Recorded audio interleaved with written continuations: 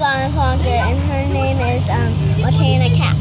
And um, we're going to be doing a, a really, really funny videos, funny video, and um, it's and um, it's actually called Sister Tag.